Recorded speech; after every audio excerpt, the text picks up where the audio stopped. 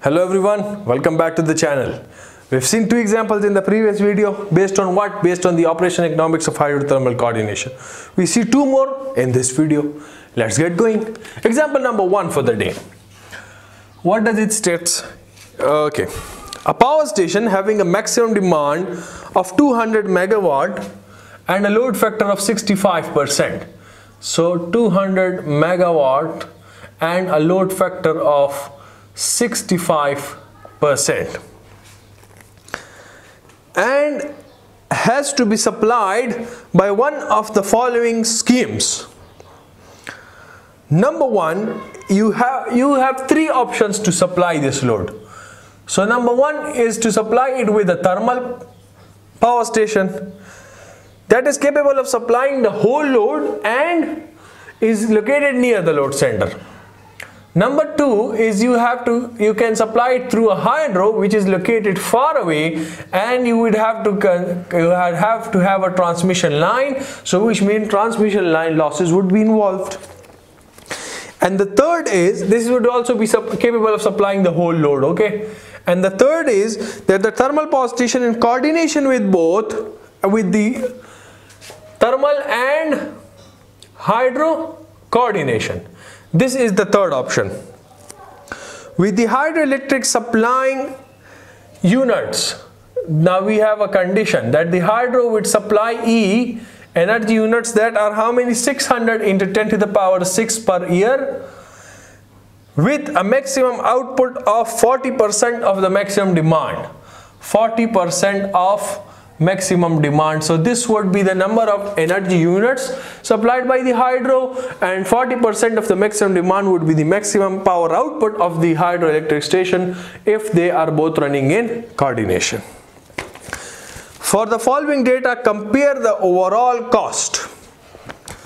So what do you have is uh, for thermal for hydro. You have number one is thermal the second is hydro. So first would be what? First would be the capital cost and that is what? Uh, that is per kilowatt of the installed capacity or the maximum demand. So that is 3000 and for this it is 4800 similarly then you have the interest and depreciation factor which is involved with the capital cost. So that is 10% for both then you have the operating cost and that is what on the basis of the kilowatt hours. So for the thermal it's 30 and for the hydro it's 10 and then similarly you have transmission line cost transmission line cost and that comes with per kilowatt hour. So this would be included with the variable cost. So this is of course not applicable in the case of thermal and then for hydro it is rupees 5 per kilowatt hour. So what do you have to do is you have to consider the overall cost of electricity and let me know from where should I take the electricity. So first of all the annual energy requirement. My annual energy requirement E so this is FLD into the maximum demand into time. So FLD uh, 200 into 10 to the power 3 FLD is 60 percent and this is yearly. So my annual demand is 1051.2 1051.2 into 10 to the power 6 kilowatt hour. These much are the energy units that I require annually now case number A, if I go for thermal, if I go for thermal. So what do you have is fixed cost, variable cost and this thing again. So fixed cost would be what? Would be 3000 per this much maximum demand. And then you have what? The interest and depreciation factor involved as well. So 0.1 so the fixed cost comes out to be what? 60 into 10 to the power 6 60 into 10 to the power 6 per year of course then the variable cost. So the variable cost would be this much. 30 rupees per kilowatt hours. Kilowatt hours are this much. 1051.2 into 10 to the power 6 so this comes out to be 31536 31536 into 10 to the power 6 the total cost would be the fixed cost plus the variable cost. So this comes out to be what? 31596 31596 into 10 to the power 6 or in terms of per unit so cost of electricity would be a total cost per total units. So 31596 into 10 to the power 6 divided by 1051.2 into 10 to the power 6 so this comes out to be rupees 30 0.05 per kilowatt hours.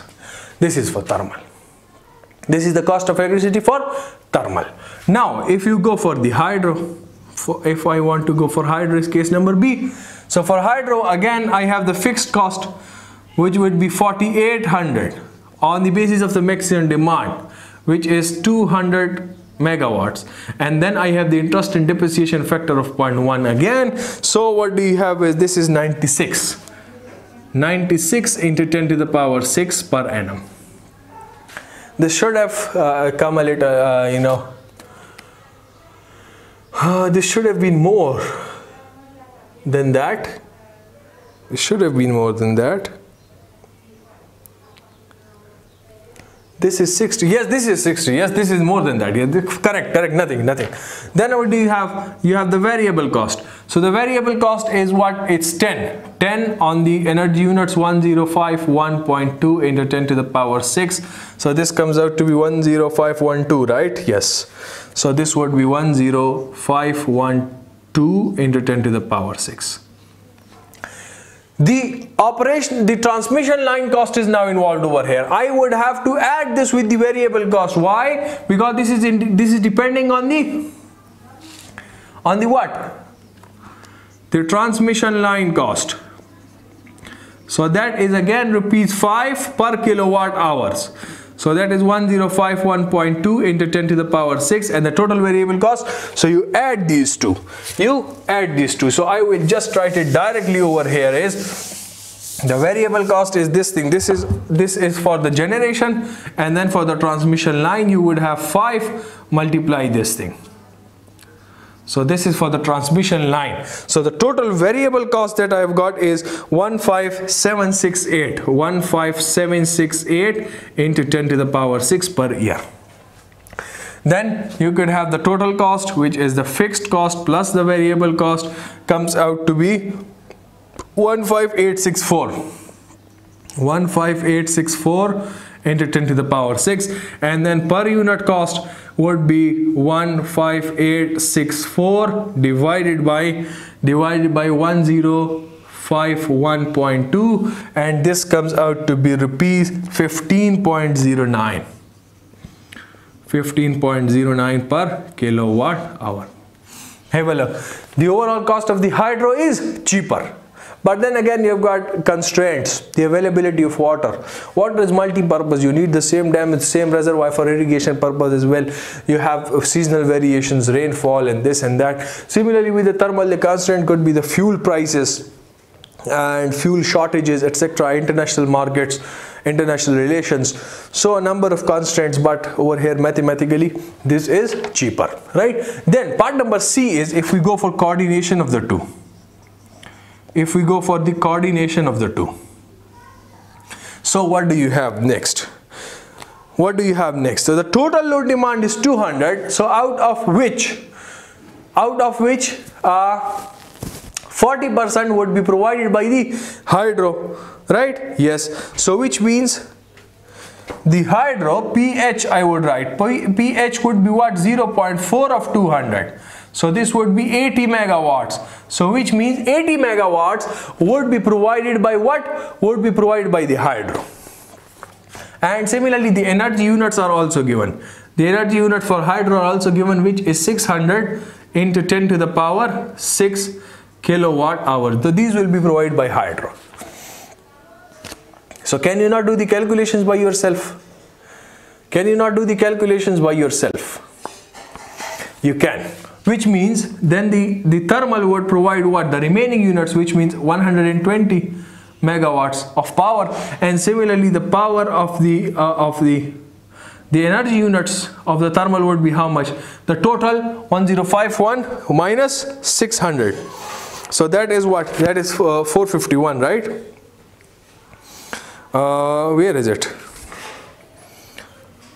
1051 minus 600 so this would come out to be what? Uh, 451 yes 451 so these would be the units that would be provided by by this thing. Now you can do now you can do the operational analysis.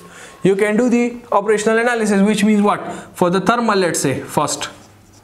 First I go for the thermal. So the fixed cost would be what? Would be 3000 multiplied with the maximum demand that it is providing. So over here now it's providing 120 and you have a depreciation factor of 0.1 what does this come out to be? 36 into 10 to the power 6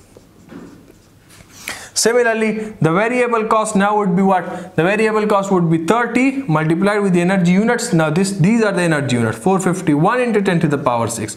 So this comes out to be how much? 13536. 13536 into 10 to the power 6.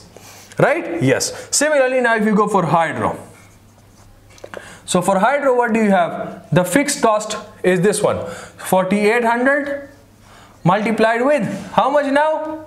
Multiplied with 80 and an interest and depreciation factor of 0.1 this comes out to be 38.4 38.4 into 10 to the power 6 variable cost. Variable cost is what? 10 multiplied with energy units. So energy units for hydro are 600 into 10 to the power 6 plus for transmission line cost 5 into this much units this comes out to be how much? 9000 9000 into 10 to the power 6 so now which means what? The total fixed cost. Would be for thermal is T? T. For hydro is H H so the total fixed cost, fixed cost total is the fixed cost hydro plus fixed cost thermal. So whatever this is, just add these two. This comes out to be uh, 74.4 into 10 power 6. 74.4 into 10 to the power 6. Similarly, the, uh, the variable cost total variable cost total would be variable cost thermal plus variable cost hydro and this comes out to be uh, where is it? 22536 22536 into 10 to the power 6 per annum. So which means the total cost total cost would be the total fixed cost plus the total variable cost. And this comes out to be 22610.4 22610.4 into 10 to the power 6 and this implies what? That the cost of electricity would be what? The total cost of electricity per unit would be this thing. Total cost divided by total energy units demand are this much 1051.2 into 10 to the power 6 and the answer is rupees 21.5 per kilowatt hour. So have a look it is greater than this one let is let less than this one lies in between. But the problem of fuel shortages the problem of water shortages the problem of rainfalls irrigation water fuel prices could be now a little bit you know neglected or negotiated with. Why? Because we are using a hydrothermal coordination. The overall cost is also in the range and the problems other factors are also you know could be neglected Fine? Yes, sir. This is example number one. Example number two. Do you want me to do another example or can you do it by yourself? We'll see. A load center can be either supplied by a hydroelectric power station or a coal-fired power station with the following data.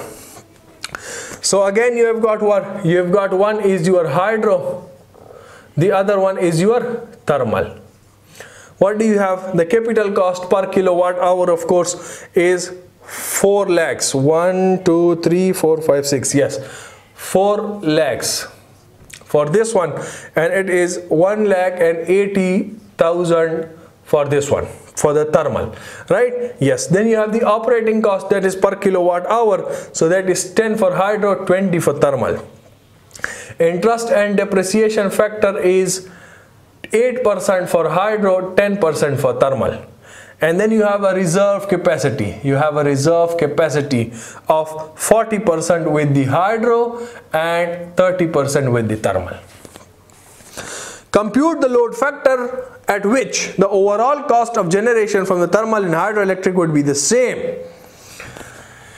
Load factor at which both costs are the same. Also find the maximum demand for supplying the number of units are given. Energy units which is 534 into 10 to the power 6 kilowatt hours. Right? Yes. So energy units is FLD into maximum demand into time. Right? Yes we know this. E is equal to FLD into maximum demand into time is over here 8760 and this is equal to 534 into 10 to the power 6. Considering the thermal first, what do I have? The total installed capacity. So the total installed capacity is what? So the fixed cost would basically include what? Installed capacity is not given, but the fixed cost is given. So the fixed cost is this much, 1 lakh and 80,000 right? And then plus this is for the installed capacity which means the committed units. This is the capital cost per kilowatt for the committed units. And then you have the reserve capacity also. So that would also come in this fixed cost and that is 0.3 of this thing so which means the total fixed cost you would have to multiply this thing 234 triple zero. 234 triple zero. You would have to multiply this thing with it the cost. Right? Yes so which means now the fixed cost is what? It is 234000. This is the cost multiplied by the maximum demand which is PM and then you have a, a, a 0.1 interest and depreciation factor. So this comes out to be 23400. 23400 PM. This is your fixed cost. Similarly, the variable cost would be what? This would be 20 multiplied by E. We don't have E. We have E basically but let's say it is like this. I just put this value of E. So 20 multiply 8760 this comes out to be 175200 175200 into FLD into maximum demand. Fine. Total cost you can just add the two. You can just add the two. Total cost. This would be 23400 PM plus 175 200 PM into FLD. This is the total cost for what? For total cost for thermal. Now if I go for hydro. So for hydro, the capital cost is basically 4 lakhs. But this is for the committed units. Then plus you also have a 40% reserve. So you also have to include that with it.